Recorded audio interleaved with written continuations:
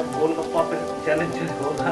और भाई देखेंगे कि भाई मम्मी कितने गोलगप्पे खाती है और पापा कितने खाते हैं और भाई हम कितने खाते हैं जैसे कि हम और पूरा का पूरा ब्लॉग देखने के लिए